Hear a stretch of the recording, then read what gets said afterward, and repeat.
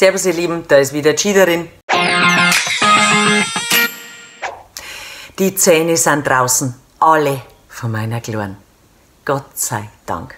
Aber dementsprechend müssen sie jetzt einer gewissen Reinigungszeremonie unterzogen werden. Meine Kleine dachte bisher, dass das zweisekündige Mund an die Luft halten die Zuckerstoffe von ihrem Zahnweiß entfernen würden.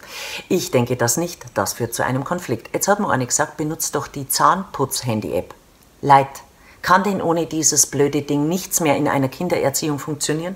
Es gibt die Einschlaf-App, es gibt die Kinderfitness-App, die Schreib-App, die Mal-App, die Buchstabier-App, die Klavierspiel-App, die Musik-App und jetzt auch noch die Zahnputz-App vernetzt mit der Zahnbürsten und dazu gibt's auch noch Tipps fürs gewaltfreie Putzen. Da tanzen dann irgendwelche Monster auf den Zähnen herum, die verschwinden erst, wenn die Kleine richtig putzt. Oder es tanzt ein Haifisch im Maul umeinander zum Schrupp, Schrupp, Schrupp, Schrupp ohne Druck Song ganze fünf Minuten und erst dann hört er auf.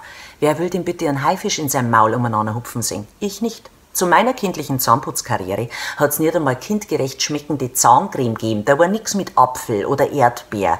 Und diese Pfefferminz-Menthol-Mischung hat sich in meine Mundhöhle hineingebrannt. Und du hattest das Gefühl, du putzt deine Zähne mit einer Fiss-Scheuermilch, einhergehend mit dem Verlust des Zahnschmelzes.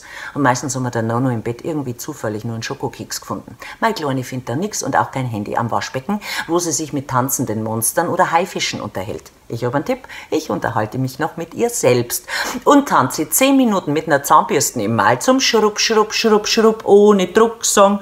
Und wisst, was passiert? Sie putzt freiwillig, damit die Mama ganz schnell damit aufhört. Antenne.